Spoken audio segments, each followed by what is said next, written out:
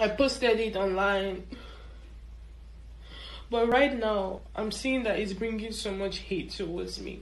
You guys, I'm a pregnant woman. No, I'm a pregnant woman. I'm reading these comments. If I talk now, they go say Balanchi today too. Oh. But I go talk. Now, both pink. Now, you're crying on Instagram. People are giving you bad vibe. People are saying bad prayers for you. Come on now, come on. Now they worry you. Because you do not know that those people you were talking to, bad mouthing, that that is the same way they felt when you were in your mouth everywhere.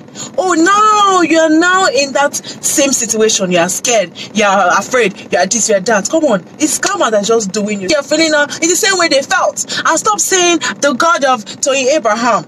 It's the God we serve in heaven. We have only one God. I'm, I'm very sure that Toyin Abraham believes in God. Stop calling Toyin Abraham's God. It's God now. Call God in heaven. Is it For crying out loud. I think this would be a best example for people who are out there doing cyberbullying. It's not really good because if you throw stone to someone, someone else will throw stone on you. Now you are facing the consequence. And when you were doing your cyberbullying, you never thought about it. And today you are asking for help because people are causing you. This proverb is very amazing. You reap what you sow. So Try and reap it. You cannot farm cassava and then you go and reap yam. It's not possible. It's not possible. They might look alike, but they are not the same. So, my dear, face the consequence and then I think every one of us will learn from this. Stop scandalizing people's name. Stop accusing people things that you don't know about them.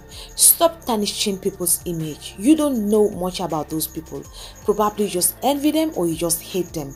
The only thing you can do is to come out to the internet and talk rubbish about them and say things that will really make them cry and sometimes they are voiceless. They'll inside their houses crying, mourning about what is going on, but they can't do nothing because their close ones or their loved ones will always advise them not to come out and clap back.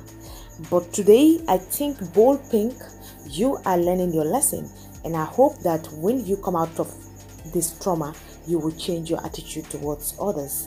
And I wish that you have a safe delivery yes that's the only prayers everybody can do for you because nonetheless you are a human being. You are bound to make mistakes but not all the time. So learn your lesson. Please guys if you haven't subscribed yet to my channel do it right now and click on the notification bell so that anytime i upload a video you will be notified. And see you guys